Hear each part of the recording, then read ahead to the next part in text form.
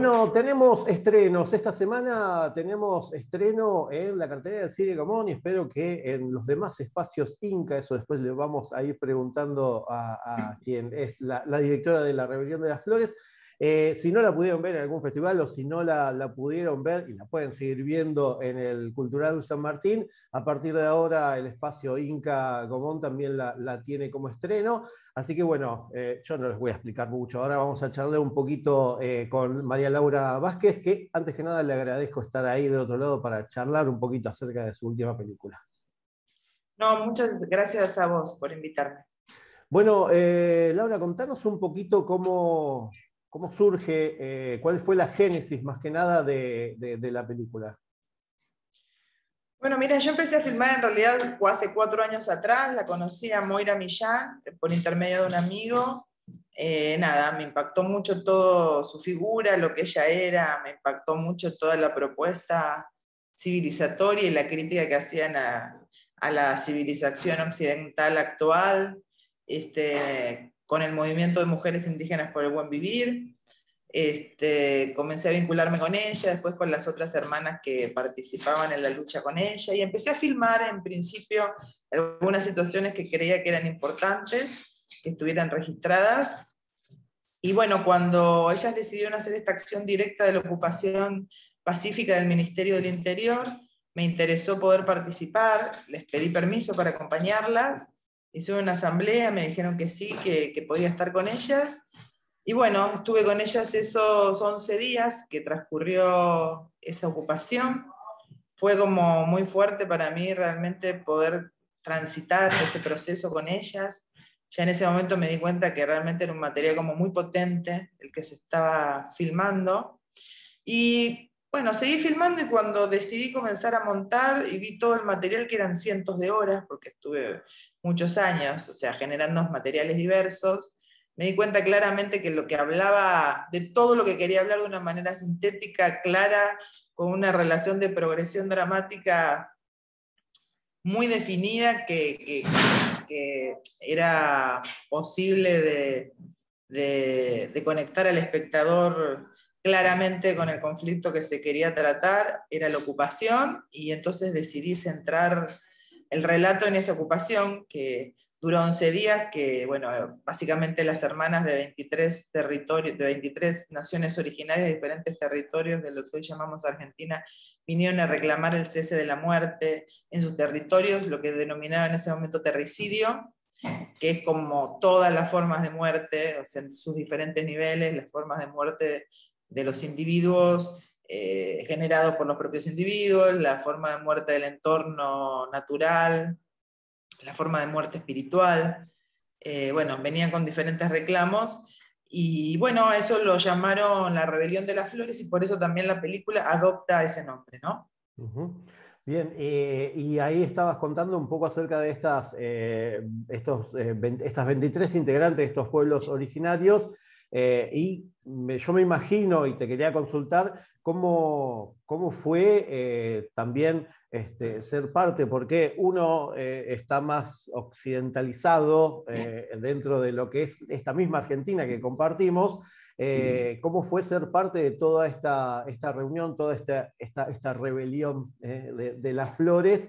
y si lo viste, desde un lado externo y quizás terminaste de, un lado interno después eh, de, haber convivido con ellas?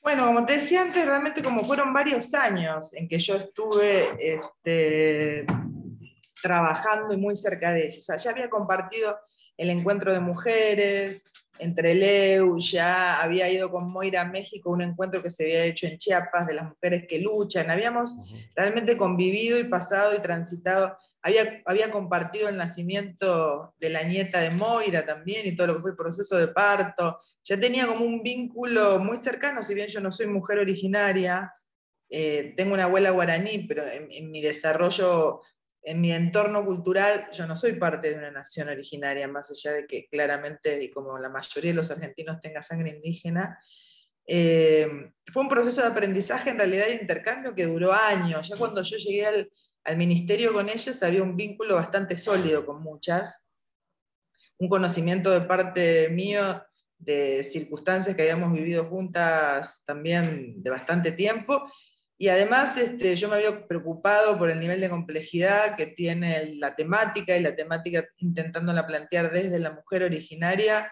Me tomé como muy en serio, había estudiado mucho también. Es un tema tan complejo, de tantas aristas, que también me preocupé mucho por trabajar leer y charlar mucho con ellas en el momento de que estaba filmando por dónde iba a ser el relato. Con lo cual, cuando yo me, enfrenté a esa situación, había como una madurez, por lo menos intelectual, en mí, de, todo lo que era la temática, un vínculo muy cercano con ellas. Por eso creo, no sé, ¿vos viste la película? Ok. Es una película que, primero que la hice sola casi, porque estaba filmando yo sola con una cámara y un micrófono, lo cual me permitía como mucha intimidad. Y segundo, que también en ese punto, nada, me dejé llevar, dije, bueno, estoy acá, la, premisa fue vivir y transitar todo lo que ellas transitaran en ese momento. Y es una cámara como muy reactiva a lo que sentíamos todas, ¿no? Más allá de no tener yo, eh, eh, no ser mujer originaria, soy mujer, sé también lo que es ser una activista y, lo que implica ser siendo activista mujer esto que dice Moira en la película, cuando las mujeres salimos a luchar, eh, estamos traspasadas por un montón de cuestiones, ¿no? porque somos las que cuidamos en general, somos las cuidadoras del hogar, las cuidadoras de los hijos. Este, no es lo mismo, no es lo mismo cuando el hombre sale a luchar que cuando salimos a luchar las mujeres, seamos originarias o no. Entonces, bueno, fue, la premisa fue nada, participar, hacer lo que ellos hacían, y es una cámara que se deja llevar un poco por lo que siente el corazón ¿no? y las sensaciones. Y creo que por eso también me parece que, que la cámara genera un registro muy, muy íntimo, muy personal y muy emotivo de lo que sucede, ¿no?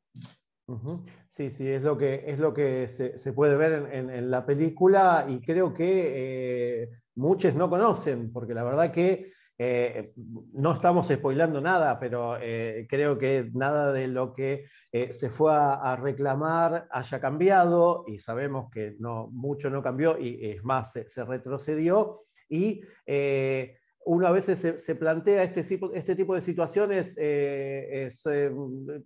son necesarias.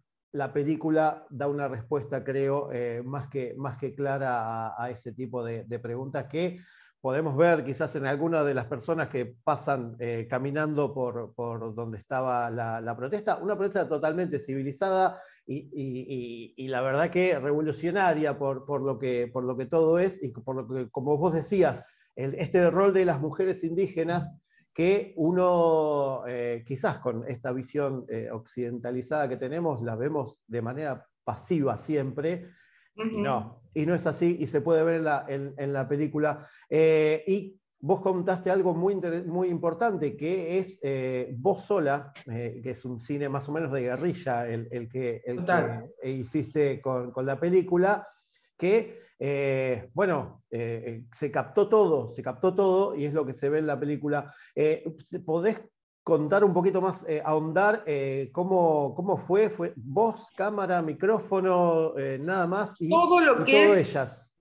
Todo lo que es la ocupación era yo con una cámara 50, un lente 50 milímetros, porque era lo más luminoso que tenía en ese momento, filmado a 3600 ISO porque no había luz, este, y con un zoom colgado al cuello, que a veces se acercaba un poquitito y dejaba eh, por eso sí, totalmente de guerrilla. Y hecho en HD. Lo que sucede que también después en la postproducción, esto después cuando fuimos al sur, que grabamos con Moira, que más el inicio de la película, los drones y tal, éramos dos. Tampoco nunca fuimos, éramos yo y una sonidista.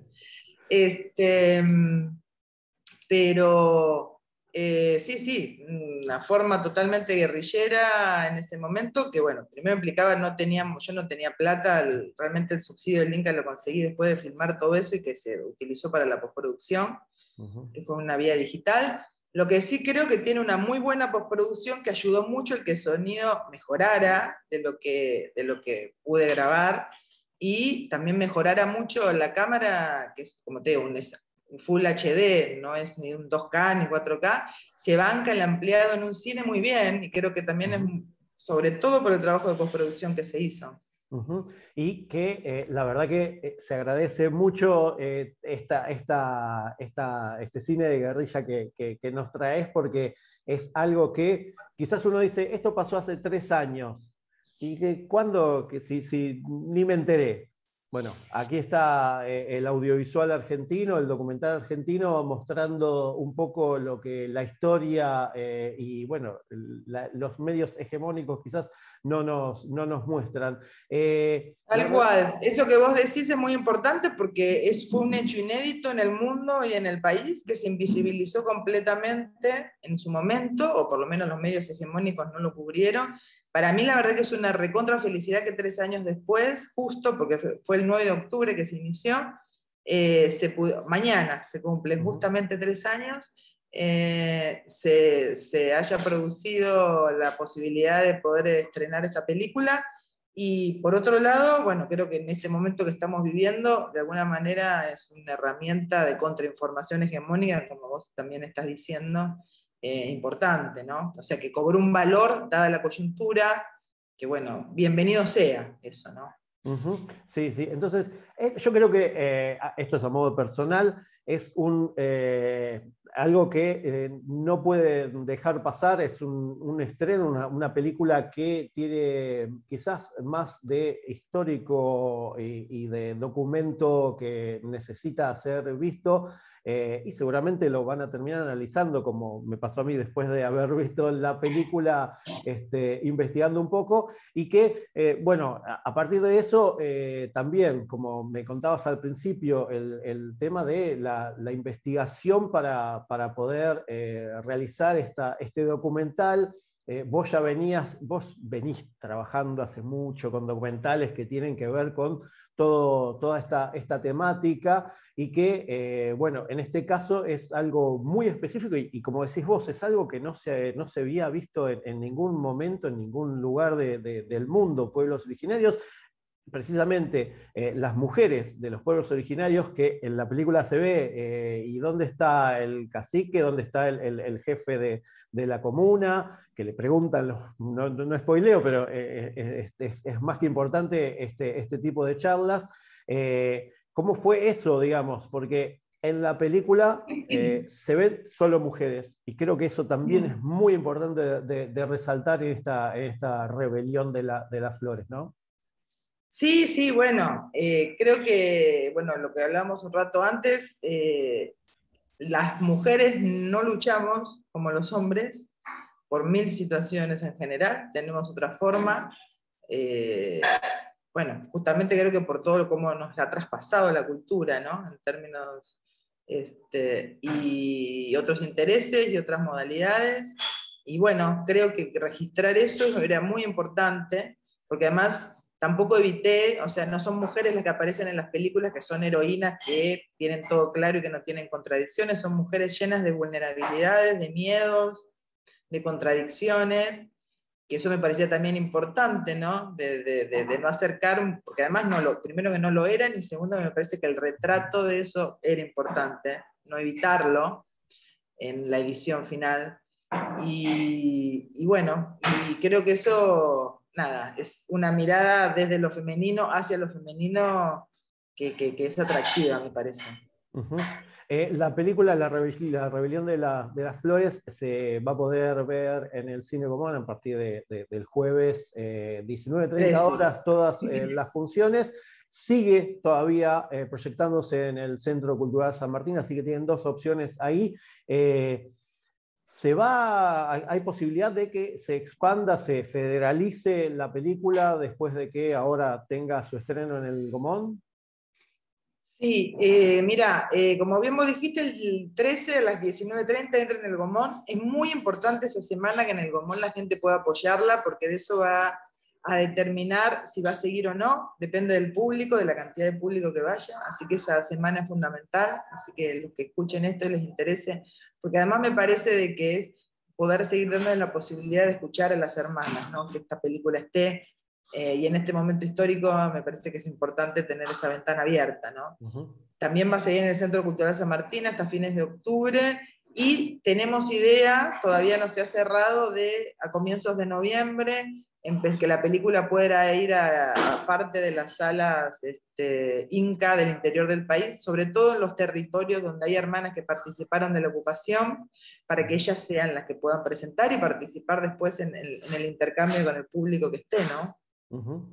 Perfecto. Y, ahí, ahí me dejaste más o menos picando la, última pregunta, es si eh, seguís acompañando la película después de, las funciones, eh, más allá de que en San Martín es una cosa y, aquí en el, en el, Gomón es otra para, tener quizás una charla después con, con quienes... Sí, sí, sí, sí, sí, la, salvo una situación, una coyuntura que implique no estar, la idea es todas las funciones poder ir al equipo de realización, bueno, que en este caso seríamos yo la productora, eh, y, y alguna de las hermanas que participó de la ocupación, y si no es posible del movimiento, pero hasta ahora hemos podido tener hermanas de la ocupación, que tengan un intercambio después con el público cuando la peli termine.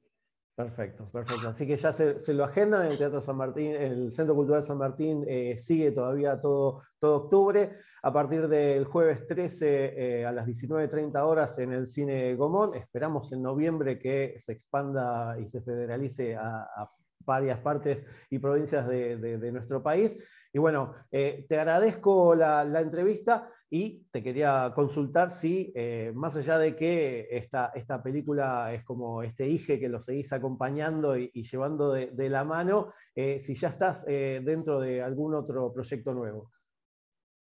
Sí, estoy por comenzar a editar una película que filmé el año pasado, que se llama Alina en busca de Leyerín, que es una joven argentina que estudió medicina en Cuba y que fue a participar este, de la guerrilla en Kurdistán. En Kurdistán hay una revolución liderada por mujeres, una, una situación que mucho no se conoce en el mundo. Bueno, ella fue a participar de eso y como era médica empezó a trabajar más que nada en el área de salud, en la programación de, de, de, la política de salud del pueblo de Kurdistán. Y bueno, fue increíble el trabajo que hizo y murió muy jovencita en el 2018 en un accidente de auto y es como una Che Guevara de, de esa parte del mundo. Y bueno, la película es sobre ella y se trata de ir buscando quién es esta mujer que para nosotros es una desconocida, pero para millones de personas es una mártir y una líder importantísima.